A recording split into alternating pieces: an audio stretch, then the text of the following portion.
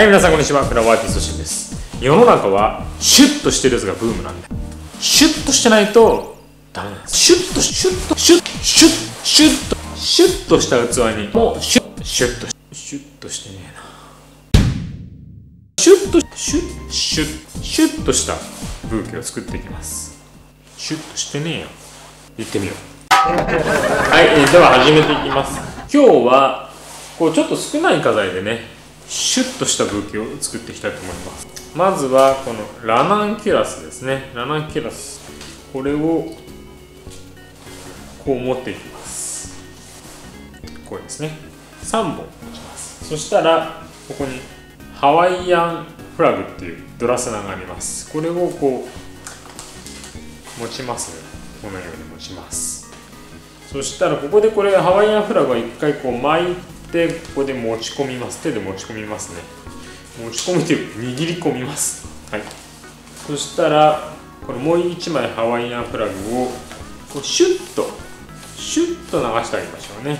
その時に少しこう最初のハワイアンフラグをこう少し斜めに持っていったりするとこうかっこよくシュッといきますね。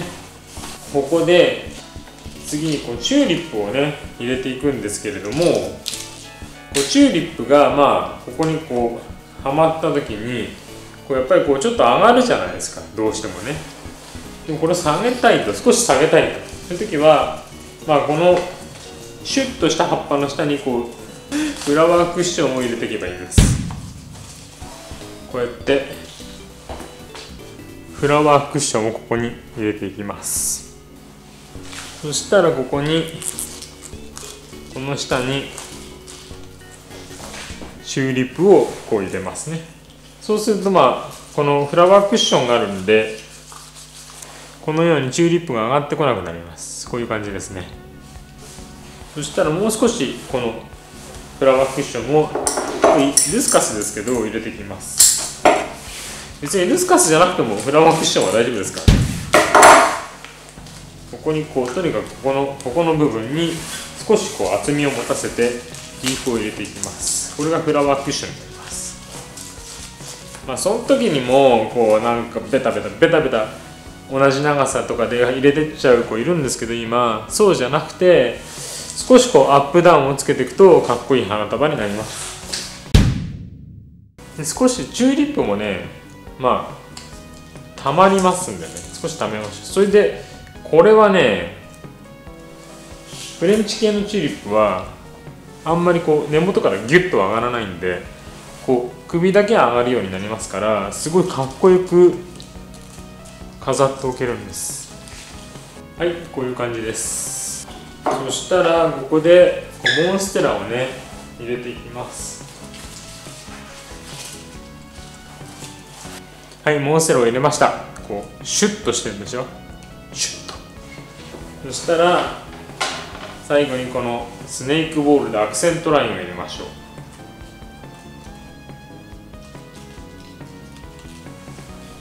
はいできました。では結束して器に入れてみましょう。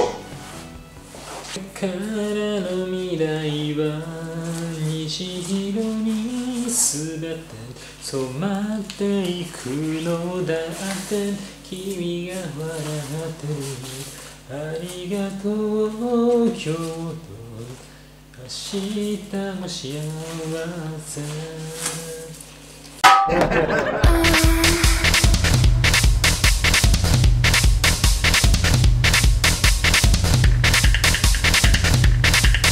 はい、えー、こちらの花束はいかがだったでしょうか？シュッとしてるね。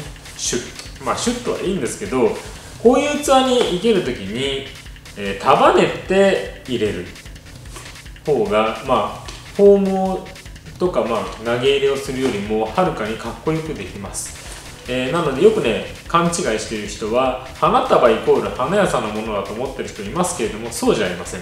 デザインをやるんでしたらやっぱりさ両方ともできてないと完璧なデザインはできないんですね、えーなのでぜひ花束もアレンジも両方ともねこうできるようになっておいてください。ではまた次回お会いしましょう。